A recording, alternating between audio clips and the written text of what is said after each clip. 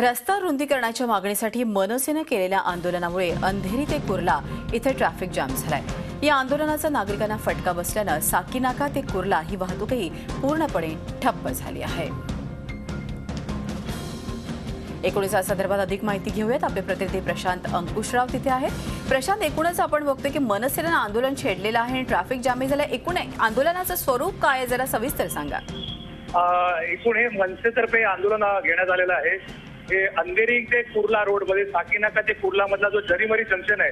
त्या ठिकाणी हे ट्रॅफिक रस्ता रोको आंदोलन घेण्यात आलंय आणि याच्यामध्ये जवळ अ, तीनशे ते चारशे सगळे मनसैनिक आहेत आणि त्यांनी हा रस्ता रोको करण्याचा कार्यक्रम घेतलेला आहे पण त्याच्यामुळे नक्कीच एकंदरीतच अगोदरच हा रस्ता अरुंद असल्यामुळे अवैध पार्किंग असल्यामुळे या ठिकाणी जी वाहतूक आहे ही अतिशय हळूवार चालूच असते.